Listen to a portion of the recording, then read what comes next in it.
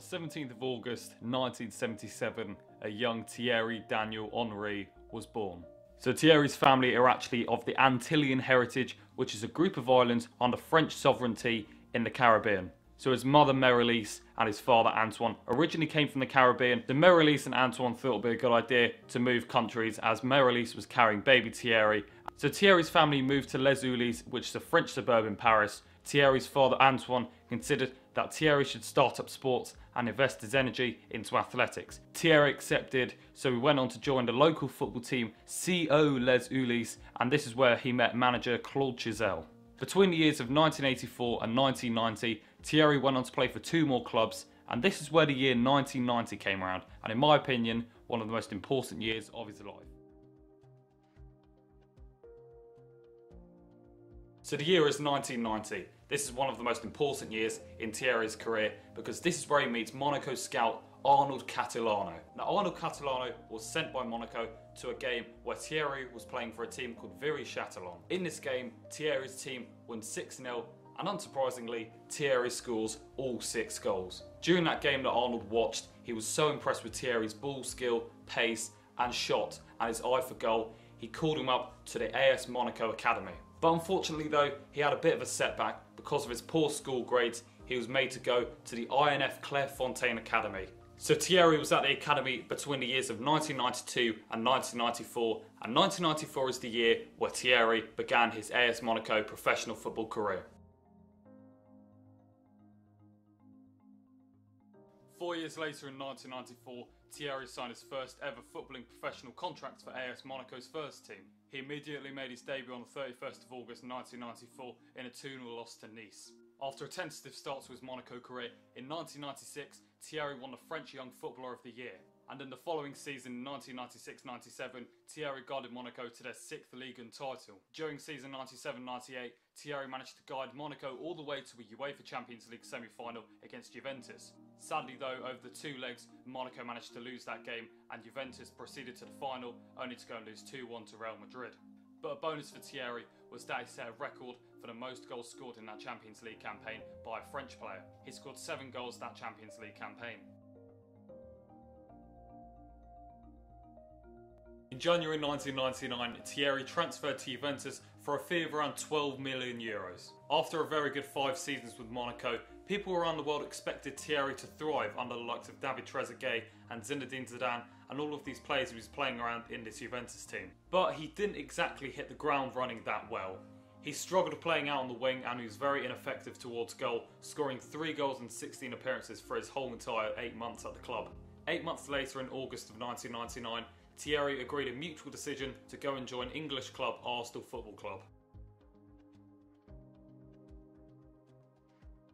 On August 3rd, 1999, Thierry Henry's dream move away from Juventus became a reality. He reunited with Arsenal manager Arsene Wenger five years after he gave his debut to Thierry at Monaco when he was 17 years old but his first goal came at a 1-0 win at Southampton away at the Dell. When the 1999-2000 season ended, Thierry managed to score 17 goals in 31 appearances. But this actually proved to be a breakthrough season for Thierry as he became Arsenal's top goal scorer with 17 goals and 9 assists that season in 2000-2001. And we also lost the FA Cup final at the Millennium Stadium in 2001 thanks to two goals by Michael Owen. But we're not going to talk about that because that should not have happened. Now, getting on to season 2001-2002, possibly one of my best years as an Arsenal fan, even though I was born halfway through the season, but never mind. Arsenal went on to win their second ever Premier League and FA Cup double, thanks to a 2-0 win in the FA Cup final against Chelsea, a goal by Ray Parlour and Freddie Ljungberg. Parlour! Ljungberg, he's got the better of Terry. Freddie Ljungberg! And a 1-0 win at Old Trafford, thanks to a goal by Sylvain Wiltord, which claimed our 12th Premier League title. It's Freddie Ljungberg again, pushed out by Barthez. Wiltord! Arsenal have scored yet again in the Premiership. Let me get this into your head. 2003-2004 Premier League season was probably the greatest Premier League season for Arsenal in the history of the club. Arsenal managed to go one whole Premier League season, 38 games, without losing a single game. We won 26 games, drew 12, and lost exactly none. Anyway, this was a brilliant season for Thierry Henry. He managed to score 30 goals in the Premier League that season and also scored 9 in other domestic competitions. Henry also won the PFA Player of the Year for the second year running. He won in 2003 for the 0203 season and won it in the 0304 season. And it's pretty obvious why he won that PFA Player of the Year because he literally was the best player in the world in 2004. He also collected the European Golden Boot as well, and yet again Thierry was named as the runner-up for the 2004 FIFA World Player of the Year, which he clearly should have won that season after leading Arsenal to a whole season unbeaten, scoring 39 goals in all competitions, winning the PFA Player of the Year award. So at the end of the 2003-2004 season, Arsenal finished on 38 games, 26 wins, 12 draws and exactly zero defeats. Arsenal's unbeaten run carried on into the 2004-5 season up until the point where we played Manchester United on the 16th of October 2004. I believe we were cheated out in this game because Wayne Rooney dived and the Manchester United players just would shut up. After that loss to Manchester United, our record stood at 49 games played, 36 wins and 13 draws, and exactly zero defeats. Now moving into the 2006-2007 season, Thierry's season was clogged up with injuries. He was getting stomach pains, ankle injuries, groin injuries, foot injuries. He was just getting the lot. He ended up playing half the season. He made 17 appearances and managed to score 10 goals in those 17 games that he played for Arsenal. One of those goals, in fact, was an absolute belter, and that was against Blackburn Rovers at Ewood Park when he did a 1-2 with Cesc Fabregas and just hit it first time right into the top right corner. Here he is. Back again to Thierry Henry. What a goal! The master does it again. And his last goal for Arsenal came in a 2-1 win against Manchester United in March of that season. Wayne Rooney actually took the lead for Manchester United in that game where he just did a lovely simple header into the bottom right corner. In towards Larsson. But minutes later, Robin Van Persie down the other end at the North Bank managed to hit an absolute belter of a volley into the top left corner, right into the roof of the net. And thanks to an Emmanuel Eboué cross and a Thierry Henry bullet header into the roof of the net. Something similar here, Eboué. Henry! And Thierry Henry signed off from Arsenal in style. 226 goals in 384 appearances for Arsenal.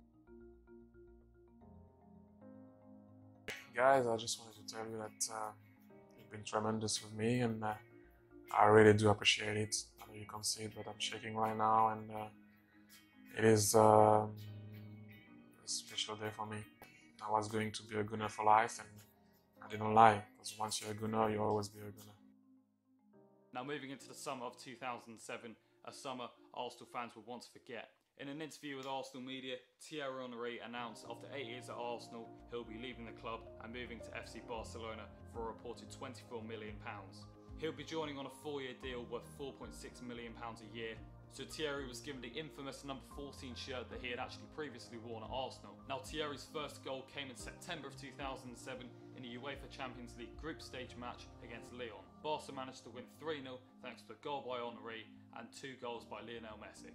So at the end of the 2007-2008 season, he actually finished as Barcelona's top goal scorer with 19 goals and 9 assists. Now into the 2008-2009 season. This turned out to be a historic season for Barcelona itself. They won a quadruple, they won the La Liga title, the Copa del Rey, the Champions League and the Super Cup. Also that season, him, Samuel Eto'o and Lionel Messi all formed a dynamic trio up front for Barcelona, scoring 100 goals in all competitions combined, like between the three of them. That is incredible. So this season, Thierry finished on 26 goals in all competitions and 10 assists. So after the 2010 South Africa World Cup, Thierry Henry returned home to Barcelona only to hear the news that New York Red Bulls had come in with an offer to take him away from the Spanish giant to the MLS in America. Both New York Red Bulls and Barcelona both agreed the sale of Thierry Henry to the MLS. I could have announced it before the World Cup. I just didn't want to put that type of, you know, kind of cloud, if I can say, uh, on the top of the team. So after almost three seasons at Barcelona between the years of 2007 and 2010, Thierry Henry bid adios to the Nou Camp after making 85 appearances and scoring 35 goals in those 85 games that he played for Barcelona. So Thierry's first goal for the New York Red Bulls came in a 2-0 win against San Jose Earthquakes on the 28th of August 2010. So the next season proved to be a very disappointing season for New York City Red Bulls. They managed to finish 10th overall in their league and they also lost in the semi-finals of the MLS Cup playoffs. On the 31st of March 2012, Thierry managed to secure his first ever hat-trick for New York City Red Bulls. This came in a 5-2 win over Montreal Impact. On the 12th of July 2014, Thierry managed to break a record in the MLS. So the record that Thierry broke was for the most amount of assists in the MLS ever. So Thierry broke Tab Ramos' record of 37 assists in the MLS ever. On the 9th of January 2012, the king himself, Thierry Henry, returned to Arsenal on a two-month loan spell. So Thierry made an instant return to the Arsenal squad to face Leeds in the FA Cup third round. In the 79th minute, Thierry latched on from an Alex Song trademark cross, took a touch, dropped the shoulder, and placed it into the bottom right corner. The Emirates went crazy, Arsenal fans across the world went crazy. What a way to mark your return to the Arsenal team after a five year absence from the club. On the 1st of December 2014, Thierry Henry left New York Red Bulls after four and a half years at the club. But suddenly, 15 days later, on December the 16th, 2014, Thierry Henry announced he was retiring completely from football. In his 20 plus year football career, he managed to play 790 games, and in those games that he played, he scored 360 goals and got 160 assists for the five clubs that he played for.